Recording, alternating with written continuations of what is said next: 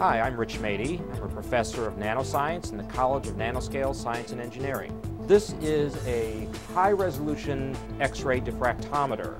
Now, it just so turns out that the sizes of nanoscale structures are right around the sizes of, or the wavelengths of X-rays, and so it's a very efficient tool we're looking at very thin nanometer scale structures. You think about a uh, street light on a foggy night.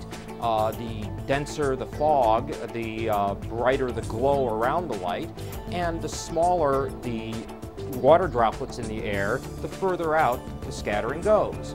Well, X-rays work the same way with materials turns out that as we scatter x-rays off the material, we can infer information about what the structure of the material is. And that's very important in manufacturing these days. X-ray tools used to be laboratory-based instruments, but over about the past decade, as the needs of manufacturing have changed, X-rays have moved onto the fabrication facility floor. Having said that, they're also a very important probe for looking at the, some of the basic properties of materials and structures, and so this is very much a basic research tool as well.